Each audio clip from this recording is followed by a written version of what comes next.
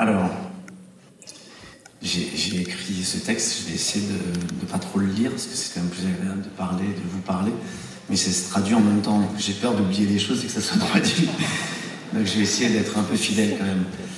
Euh, il y a 21 ans, j'étais à Yokohama, au festival du film français au Japon, et lors d'une discussion avec des, des comédiens de ma génération, j'apprends que Jerry Schatzberg, est venu à Paris pour faire un casting, pour rencontrer euh, un acteur français pour son prochain film.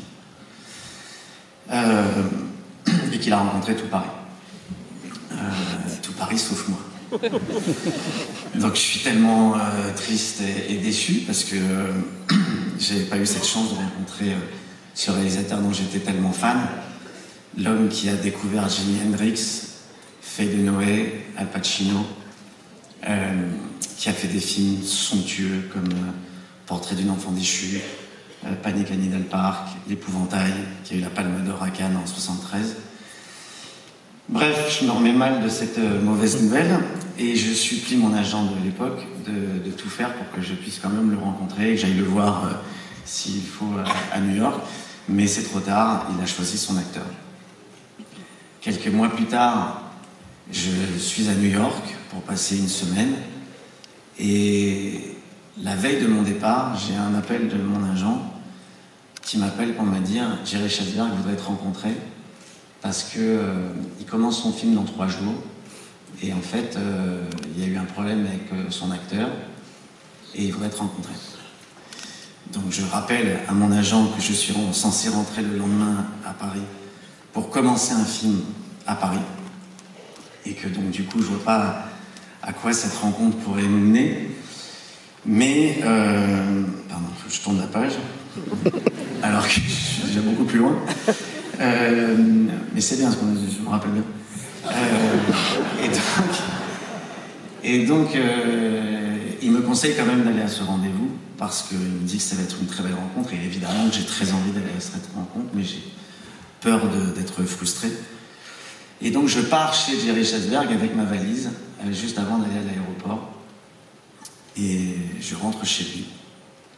Et là je vois toutes les photos de Bob Dylan, partout, parce que c'était le photographe personnel de Bob Dylan. Euh, et on parle cinéma, on parle de son film. Euh, et je suis obligé de lui dire que je ne pourrais pas faire son film parce que j'en commence un autre à Paris.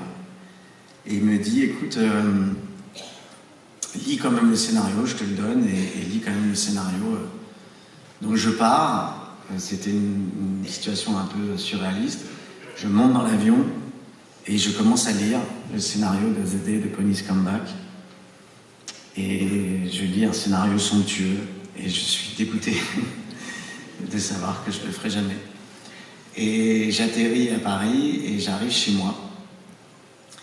Et, c'est là que pour certaines générations, ils vont voir que je suis vraiment vieux. J'écoute mon répondeur.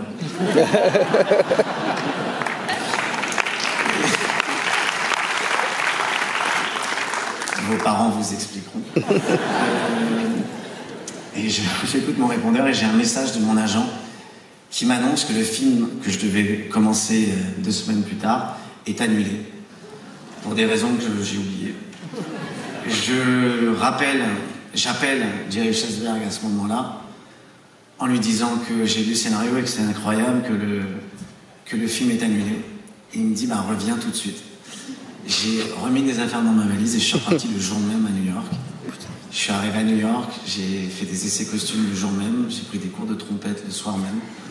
Et le lendemain, je me suis retrouvé dans le Bronx avec Jerry. Et c'était magique j'ai passé un moment extraordinaire sous la direction d'un metteur en scène extraordinaire. Euh, c'était, euh, pardon, c'est la dernière page. Et euh, dans des endroits très très chauds du Bronx, où il a grandi, où il est né, où il a grandi. Et j'ai vraiment vécu une expérience de cinéma comme, comme j'en ai rarement vécu. Et voilà. Et c'est pour ça que quand Bruno Barthes, que je remercie encore de m'avoir euh, confié ce, rôle de, président du jury euh, cette année. Euh, je lui ai demandé si on ne pouvait pas rendre hommage à cet homme qui pour moi représente tellement le cinéma indépendant américain. Je, rêvais devant ces films quand j'étais gamin, au milieu des films de Sam Peckinpah, des premiers Scorsese, des premiers Coppola. Et encore maintenant, de me dire que j'ai eu la chance de travailler avec lui, c'est juste surréaliste. Donc voilà, c'est avec beaucoup d'émotion, d'admiration que je vous demande d'accueillir ce soir mon ami et surtout mon père spirituel, Monsieur Jerry Chasberg.